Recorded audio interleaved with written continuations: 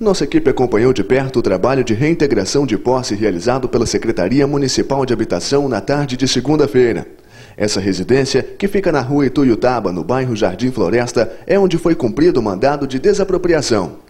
O trabalho é acompanhado de perto pela Polícia Militar, um oficial de justiça, além da Secretaria de Habitação do município. Um chaveiro é solicitado para fazer a abertura da residência.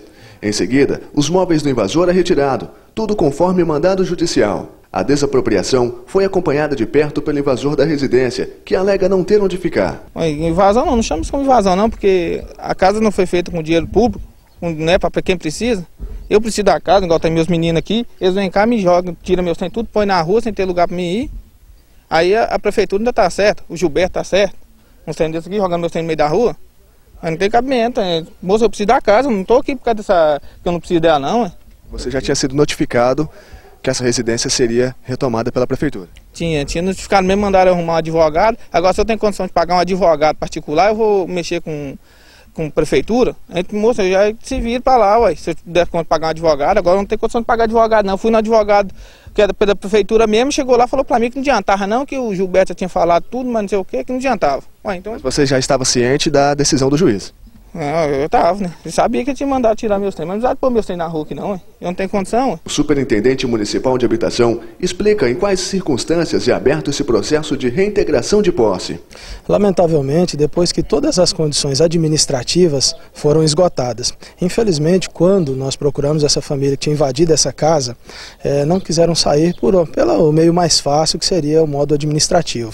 Nem fizeram inscrição no programa e aguardaram então a decisão do juízo que foi feita feito, nós entramos, né, o Poder Público Municipal tomou a decisão de entrar na Justiça para fazer a retirada, a reintegração de posse, e assim está sendo cumprido hoje com o oficial de Justiça, com apoio policial, justamente para desocupar a família e fazer a alocação de uma outra família ser beneficiária e selecionada para que possa usufruir do imóvel de forma legalizada, de forma tranquila, daquilo que foi tramitado conforme é o esperado pelo Poder Público. Agora, ele alegou que a prefeitura não está agindo de forma certa, mas é necessário ressaltar que a notificação já foi dada para ele antes, né? Exatamente, ele tem total conhecimento de todos os procedimentos, ele foi notificado pela justiça, o oficial de justiça procurou ele, ele assinou o mandado, então ele tem o conhecimento do prazo que ele tinha.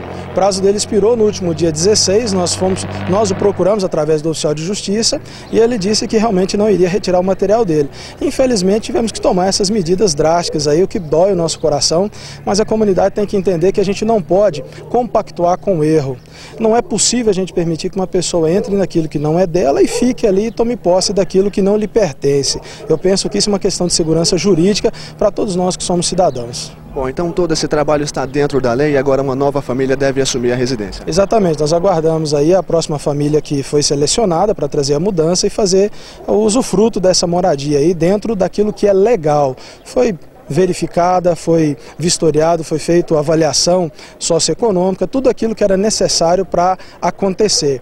Lamentavelmente, a família, infelizmente, a gente sofre de, de fazer um, um evento desse, mas é necessário, a gente tem que cumprir com a justiça.